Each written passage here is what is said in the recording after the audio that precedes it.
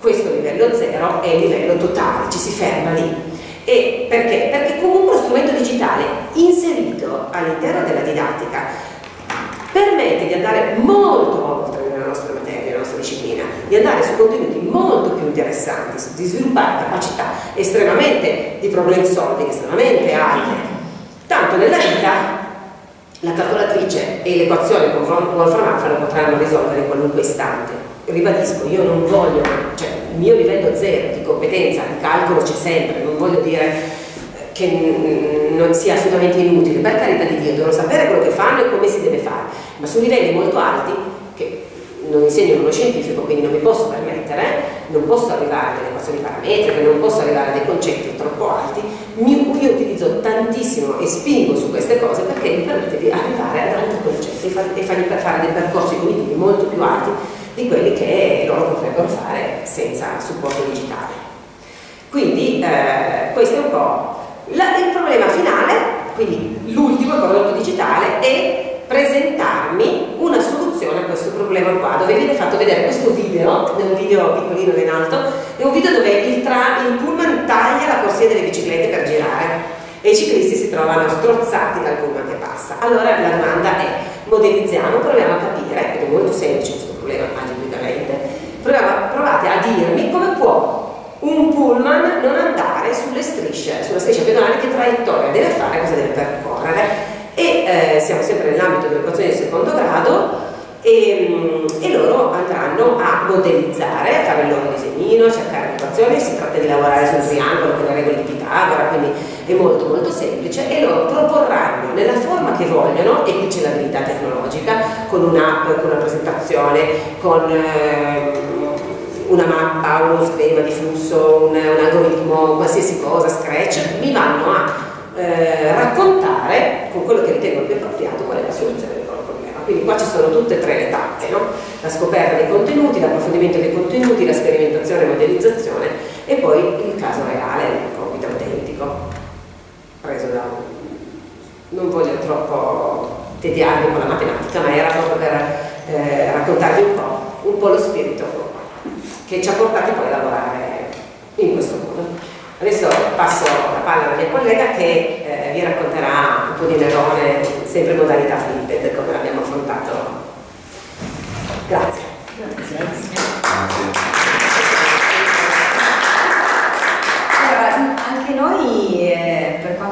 Riguarda, siamo partiti un po' da questa idea di eh, soprattutto la storia, no? la storia raccontata ai ragazzi e poi ripetuta in modo sistematico dai ragazzi, nostri appunto non sono liceali, quindi eh, in un istituto professionale normalmente ci va bene quando abbiamo una memorizzazione, una ripetizione, una trasmissione appunto mnemonica e ripetitiva dei contenuti che è piuttosto avvilente, piuttosto triste, perché appunto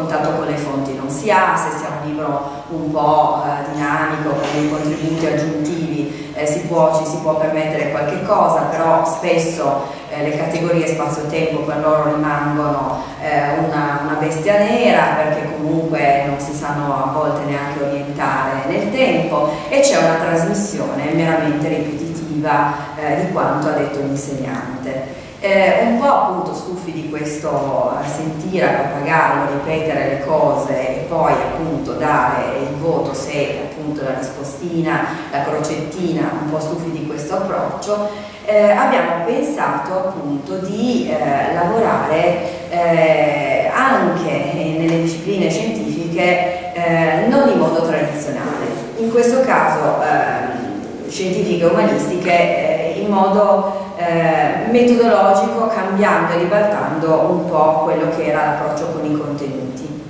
In questo caso appunto il manuale di solito orienta, non si fa storiografia per nulla perché comunque il manuale ci dà già un'impostazione, un approccio, normalmente poi il docente sta al docente far vedere aspetti della storia diversi, non c'è mai molto tempo per fare questo, i nostri allievi fanno fatica ad arrampicarsi sulle fonti, fanno fatica a incontrare a volte proprio la fonte, soprattutto quando la fonte è molto antica, non padroneggiano il latino, quindi ad esempio tutto l'approccio con la storia medievale è praticamente impossibile, quindi che cosa fare? E allora in questo caso eh, abbiamo cominciato a pensare delle UDA disciplinari anche per quanto riguarda storia ed è nata ad esempio questa unità didattica eh, sul personaggio di Nerone. Nerone è un personaggio celebre, famoso, tutti ne sanno qualcosa, i ragazzi bene o male hanno già imparato dalle scuole elementari, a sì l'incendio, a sì i cristiani, a sì le persecuzioni, quell'uomo cattivissimo. Poi quando arrivano appunto alla scuola eh, superiore ripetono esattamente le stesse cose, quindi autore dell'incendio, autore delle persecuzioni e si va velocemente affrontando questa questione. In realtà eh, questo personaggio è un personaggio che si presta ad esempio a, a, vedere sì le ombre di Nerone ma anche a vederne delle luci perché comunque ci sono delle ragioni che ci possono far capire che il personaggio Nerone in qualche modo storiograficamente è stato anche un po' eh, pesantemente condizionato perché i suoi nemici, in particolare Tacito, ne hanno dato un ritrattino mica da ridere, proprio finalizzato ovviamente a, a determinate ragioni eh, storiche. Questo ovviamente eh, consente anche di mettere i ragazzi di fronte a delle situazioni, a dei casi, a dei problemi, a dei personaggi, a delle vicende della storia e fare in qualche modo capire che non tutto quello che i libri scrivono è tutto in qualche modo orcolato e un'interpretazione è sempre solo quell'interpretazione, sono possibili più interpretazioni. Ed è importante che appunto nasca una sorta di senso critico quando si affronta qualsiasi fatto, qualsiasi problema. L'altro aspetto molto interessante che consente di fare la storia è in qualche modo l'idea che comunque passato e presente hanno profondi legami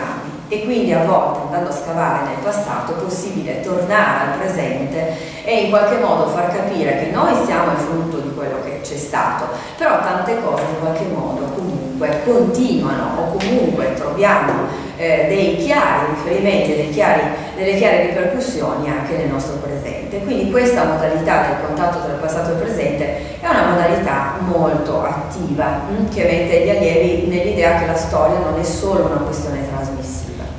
L'altro aspetto appunto è l'idea che comunque si può lavorare su dei documenti, si può lavorare su delle fonti, si può lavorare su del materiale aggiuntivo, non solo sul libro di testo che va memorizzato e in qualche modo appreso. Eh, tutto questo però non da soli, perché i ragazzi da soli non sarebbero in grado ovviamente di affrontare questa, questo grosso eh, elemento sfidante. Il problema di Nerone parte appunto, per me parte a casa, eh, come diceva appunto eh, Francesca prima, lei realizza questi meravigliosi video in cui spiega come eh, procedere con il calcolo, con l'esercizio, con la teoria, c'è tutta una parte molto grande di teoria. A me l'idea eh, non convinceva, nel senso che per la storia mi convinceva di più che loro avessero la possibilità di ricercare in un video dei contenuti, dei contributi che ampliassero loro panorama, che in qualche modo calassero gli allievi in un contesto storico e facessero capire loro che ci sono tanti collegamenti, tante connessioni possibili rispetto ad un avvenimento, ad un personaggio. In questo caso abbiamo utilizzato una puntata tratta da eh, Alberto Angela con appunto il programma Ulisse che tra l'altro ai ragazzi piace molto perché in modo molto didattico li guida a far scoprire tutta una serie di cose, di agganci, di percorsi eh, legati appunto ad un contesto storico e ad un personaggio. Questa puntata aveva una serie di contenuti aggiuntivi che noi in parte abbiamo eliminato perché non ci interessavano, avevano il compito quindi di vedere una serie di minuti, una quarantina di minuti di questo video e poi in questo caso appunto rispondere, provare a rispondere a casa schematizzando sul quaderno, schematizzando sull'iPad come volevano,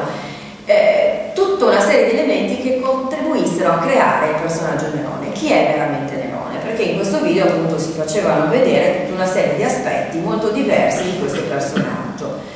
Quando gli allievi tornano a scuola insieme, come appunto si era detto, ognuno di loro eh, propone eh, la propria scaletta di contenuti, i propri nodi, i focus, le cose anche non chiare e in qualche modo si mette insieme tutta questa serie di contenuti e in eh, questo caso si arriva poi a formulare una seconda domanda. Perché l'imperatore Nerone nella storia ha avuto una luce così sinistra? E soprattutto eh, alla luce di quello che noi abbiamo ascoltato, alla luce di quello che noi abbiamo sentito, è possibile in qualche modo delineare il ritratto che in questo caso ci parli di un Nerone anche diverso, quindi tra le luci e le ombre. In questo caso appunto eh, c'è la possibilità di eh, far emergere tutta una serie di contenuti eh, in un testo e eh, ricostruire anche il contesto, quindi calarlo nel percorso di storia con i fatti importanti e salienti di questa, di questa esperienza. Un ulteriore approfondimento proveniva da un volume del National Geographic di qualche anno fa in cui si parlava appunto della figura di Nerone e dove chiaramente emerge che ci sono quasi due momenti della, della biografia di Nerone in cui una prima parte il personaggio in qualche modo eh, ha una serie di luci, quindi di aspetti positivi eh, che sono comunque Ehm, legati alle prime fasi di governo, una seconda fase che invece è quella dove emergono tutte quelle tematiche legate al dispotismo e alla crudeltà, alla persecuzione degli, degli ebrei. Da qui nasce un lavoro cooperativo, un Padlet, in cui gli allievi appiccicano i loro post-it con tutta una serie di elementi, eh, da una parte gli aspetti positivi e dall'altra gli aspetti negativi per ricostruire pienamente il ritratto del personaggio. La eh, conduzione prosegue ancora con un lavoro sulle fonti. Questo, eh, questo articolo è tratto da una, una, storia network in cui si appunto eh, mettono in evidenza una serie di aspetti eh, legati soprattutto dei concetti chiave, eh, il rapporto tra questo personaggio con il potere, quindi in questo caso il Senato, eh, l'esercito, alcuni personaggi importanti che in questo caso hanno eh, contribuito a modificare anche le luci e le ombre su Nerone, da qui si realizza una mappa concettuale in cui si mettono in evidenza tutti i vari aspetti che sono stati ricostruiti in questa lettura, in questa analisi eh, fatta in gruppo ovviamente insieme. Eh, la conduzione della sfida eh, ovviamente è eh, far capire eh, agli allievi che eh, non sempre quello che noi leggiamo sui libri è in qualche modo un'unica versione, ci possono essere più letture del personaggio e loro hanno già imparato a capire che è possibile in qualche modo ehm, comprendere che Nerone ha più sfaccettature figure, che ci sono eh, più dimensioni di uno stesso personaggio e soprattutto è possibile costruirsi un giudizio critico, un approccio critico rispetto a fasi, a momenti diversi di quello che è stata la storia di questo personaggio. E ovviamente i vari rapporti con le istituzioni e con i poteri possono condurre gli allievi a far capire determinate, giustificare o comunque a far comprendere agli allievi determinati atteggiamenti si è riproposto un piccolo laboratorio di storia, quindi cercare di realizzare in gruppo, ovviamente, eh, un piccolo percorso in cui ad esempio ci si cala nel contesto, eh, ci si avvicina a un personaggio di Tacito che loro attraverso tutta questa serie di contributi hanno potuto in qualche modo conoscere e provare a mettersi nei panni, eh, in questo, eh, nei panni di questo personaggio perché poteva avere il dente avvelenato nei confronti di Nerone e in qualche modo provare a, realizzare un'intervista impossibile a Tacito spiegando il giudizio del personaggio. Quindi io devo conoscere bene il personaggio e devo anche capire le ragioni per cui questo personaggio in qualche modo è stato dipinto, disegnato o in qualche modo eh, raccontato in questo modo. Eh, il lavoro è stato poi eh, realizzato, mm, lo strumento era in qualche modo scelta, però il lavoro è stato poi realizzato con un podcast, quindi è stato utilizzato questo strumento eh, ulteriore. A casa si è riproposto come integrazione del lavoro una seconda parte del video da cui si era partiti, perché qui in realtà ci si focalizza sull'episodio accaduto nel 64 d.C. e anche qua molto sbrigativamente nei libri di storia spesso ci si dice appunto che nella data tot il grande incendio, poi costruzione della domus, eh, Nerone in qualche modo eh, ritenuto responsabile, eh, i cristiani accusati giustamente e via si passa ad un altro imperatore.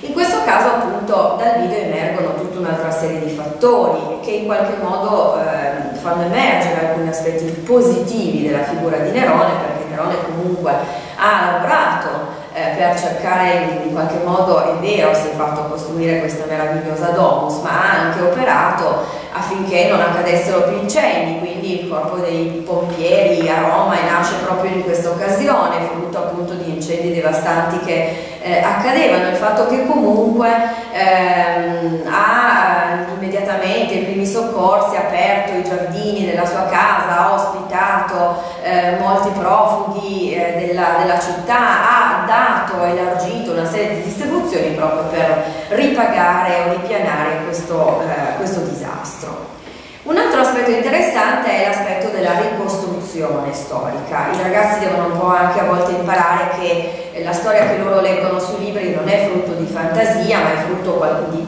di, di un'evoluzione. E anche a volte evoluzione, immagino voi lo facciate molto bene nell'aspetto di geografia, ma comunque di un'evoluzione di un cambiamento del territorio. Partendo proprio da una mappa dell'epoca imperiale, cercare di individuare, il ne parla con, in dettaglio, cercare di individuare quali sono i luoghi attraversati e percorsi dall'incendio della notte del, del, luglio del 64 d.C. e poi andare a individuare questi luoghi nella carta geografica con l'ausilio ad esempio di Google Earth, con, in 3D, anche in 3D, di andare a rivedere questi luoghi eh, oggi, nel presente. E in questo caso appunto presentare questo con un'app scelta dagli allievi eh, con una carta interattiva possibilmente. Eh,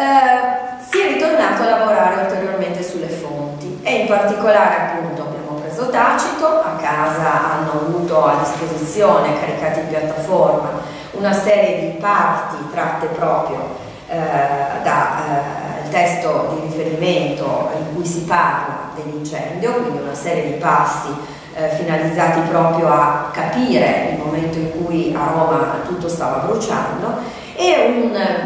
breve straccio del video di Covadis tratto appunto dal,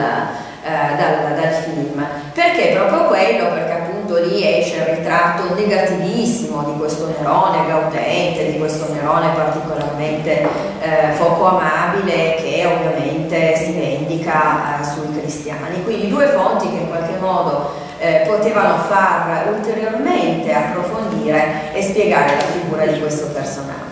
A questo punto, tornati a scuola, in classe, divisi in gruppo, gli allievi hanno tutto il contesto, sanno perfettamente il personaggio, sono entrati in contatto con le fonti, si sono fatti un'idea dell'orientamento delle fonti, del perché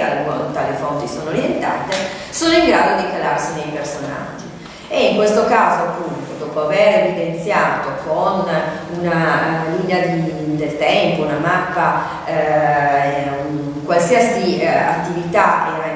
modo eh, consentita poter evidenziare in uno schema di sintesi quello che loro avevano evidenziato nel, nei loro appunti eh, presi a casa e poi appunto evidenziare gli aspetti negativi e gli aspetti positivi del personaggio. Tutto questo finalizzate appunto a eh, fare una riflessione che riconducesse eh, al rapporto tra passato e presente e in particolare le persecuzioni. L'anno in cui l'abbiamo affrontata era due anni fa, c'erano stati tutta una serie di casi eclatanti legati proprio a questo aspetto e quindi era molto facile, lo è ancora adesso, ripescare questo aspetto del rapporto della persecuzione religiosa finalizzata appunto all'odio. Eh, un gruppo può lavorare ad esempio sulle eccellenze per evidenziare evidenziare un evento catastrofico del presente per poi appunto eh, cercare di far eh, mente locale su come oggi eh, si possano ehm, aiutare eh, situazioni di grave eh, persecuzione, di grave conflitto, la Siria in particolare, i profughi siriani, vengono, le, le, attività che vengono fatte, eh, loro lavorano in un ambito sociale, quindi per loro è molto facile lavorare su questi contenuti. La eh, sfida si conclude con una serie di eh, lavori a partire da una tavola cronologica che riprende tutto il framework concettuale, quindi viene realizzata una tavola cronologica con tutti gli avvenimenti e tutti i personaggi che sono in qualche modo emersi attraverso le varie fasi del, del laboratorio. Ehm, a scelta dagli allievi, non abbiamo ancora trovato la nostra ideale, loro ogni tanto eh, ripercorrono le strade del passato, ogni tanto vanno alla ricerca di qualche cosa di nuovo. L'importante è che questo consenta loro di padroneggiare eh, tutto il framework concettuale e gli avvenimenti.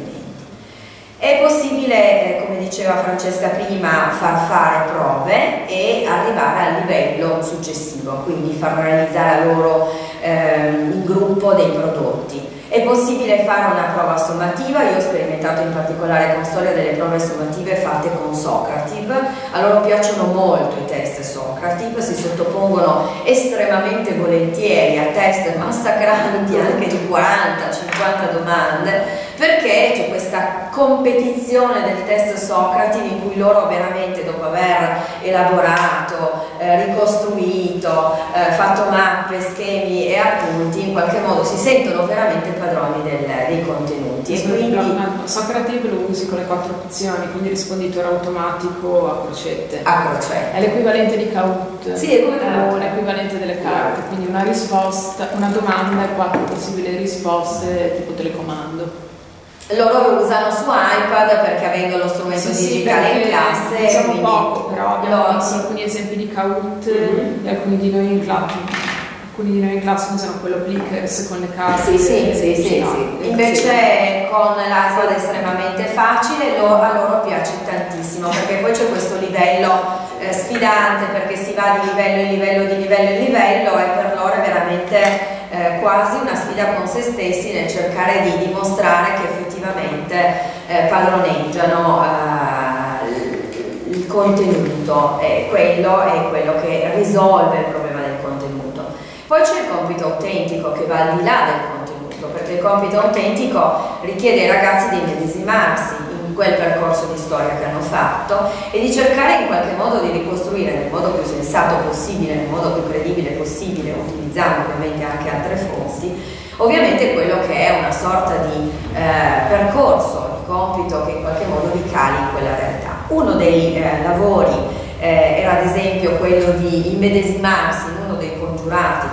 problema ovviamente anche della, della congiura neroniana, quindi di immedesimarsi ad esempio nel personaggio di Pisoni, uno dei, dei congiurati, e ovviamente eh, cercare di esprimere tutto il sentimento d'odio che emergeva appunto da questa ricostruzione.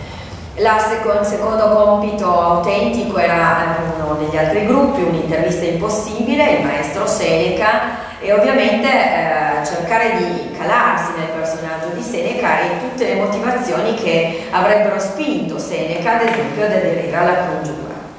L'altro è realizzare un racconto breve medesimandosi in uno dei congiurati, in uno dei, degli incendiari, in uno dei personaggi che hanno appiccato il fuoco nella notte del luglio del 64, ovviamente un cristiano, e questo personaggio potrebbe avere un antagonista, il quale ovviamente con il sospetto della congiura tenta di eh, fermare eh, i nemici dell'imperatore, quindi calarsi in entrambe le, eh, le visioni.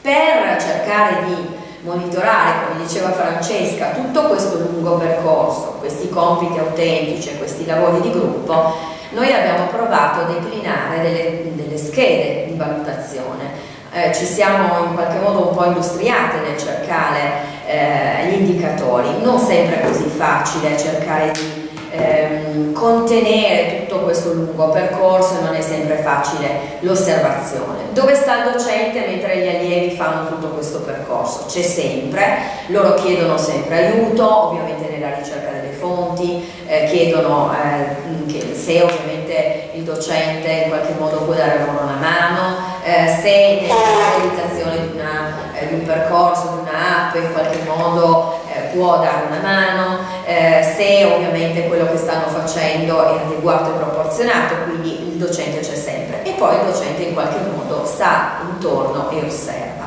Abbiamo provato a eh, modellizzare una valutazione del lavoro di gruppo, abbiamo individuato degli indicatori. C'è un indicatore molto poco politically correct che è quello del ruolo delle regole, noi ce lo siamo lasciate così perché è di servizio, è interna a noi. Perché in qualche modo eh, nei gruppi emerge sempre un capo carismatico che è quello che in qualche modo involontariamente poi alla fine è quello che guida il gruppo, è quello che fa da referente, è quello che coordina il lavoro. In, la nostra utenza in ogni gruppo, quando non facciamo lavori su eccellenze, ha sempre normalmente nel gruppo un elemento debole, fragile, che può essere il ragazzo con handicap, il ragazzo che in qualche modo meno coinvolto da un tipo di lavoro, da una disciplina, quindi è sempre l'elemento un po' l'anello debole della catena e quindi abbiamo utilizzato questa parola, sappiamo che è poco politically correct, ma effettivamente c'è sempre comunque un ragazzo che presenta delle difficoltà nell'operatività del gruppo, che viene sostenuto però comunque dai compagni.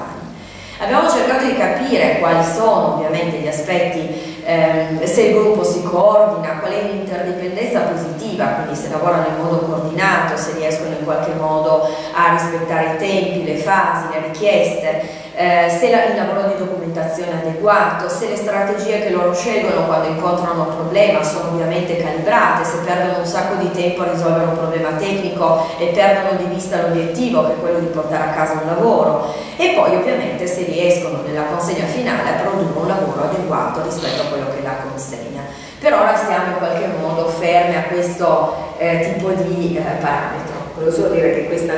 noi alcune volte è opportuno dare ai ragazzi la stessa scheda per l'autovalutazione, no? Non è questa che condividiamo con loro. Questa è nata dall'osservazione dei gruppi, noi abbiamo fatto prima tutto un lavoro con Anna Rosa Orsola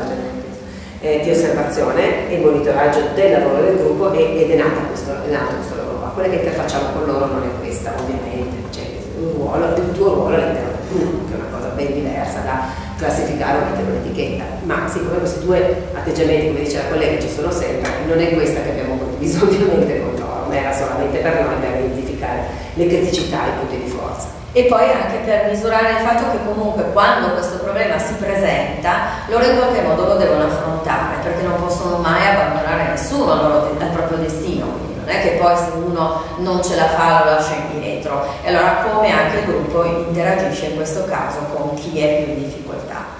Eh, abbiamo anche prodotto una griglia di valutazione del prodotto che può essere digitale, non è sempre detto che sia digitale, in questo caso appunto ci siamo chiesti se è pertinente, aderente alla consegna, se c'è un lessico specifico adeguato, se in qualche modo il rigore di ricostruzione è opportuno, se è originale. Sull'originalità i ragazzi adesso si stanno un po' scatenando perché loro quando presentano i loro prodotti hanno questa griglia di valutazione, quindi ascoltano i loro compagni e danno una valutazione. Sul tema dell'originalità adesso si stanno un po' confrontando perché alla fine sperimentano un'acqua, sperimentano un'altra, sperimentano anche un'altra ancora,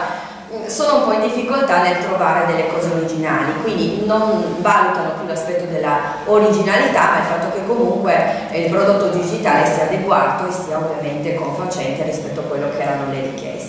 Se il lavoro è completo, se ovviamente ben organizzato e ovviamente la competenza digitale. Per noi la competenza digitale ormai è in, eh, imprescindibile anche se il prodotto eventualmente non è, eh, non è digitale. Stesso discorso per quello che riguarda i compiti autentici, quindi la griglia di valutazione è allo stesso. Ehm, sicuramente rispetto a una mera trasmissione eh, puramente mnemonica eh, dei contenuti qui si affronta la complessità. I ragazzi si rendono conto immediatamente che la storia non è, eh, è un fenomeno complesso e non è un affare per tutti, cioè non è una roba che basta libro di testo e basta. E imparano che comunque loro la, il concetto di fonte sì, un po' l'hanno percorso nelle scuole medie, forse, i nostri neanche così tanto. Eh, a volte ignorano il fatto che comunque qualcosa che è accaduto nel passato abbia eh, dei riferimenti così importanti nel presente, che comunque ci siano dei collegamenti, a volte lo scoprono proprio facendo questo tipo di percorso sicuramente aumentano il senso critico e sicuramente acquisiscono una capacità di giudizio che prima non avevano, perché il solo fatto di porli di fronte a qualche cosa e ad analizzarlo, e non solo a leggerlo, a memorizzarlo, ma ad analizzarlo, di, a cercare di capirne le ragioni, induce in loro un atteggiamento completamente diverso e sicuramente acquisiscono un altro lessico. Il lessico della storia in qualche modo diventa fondamentale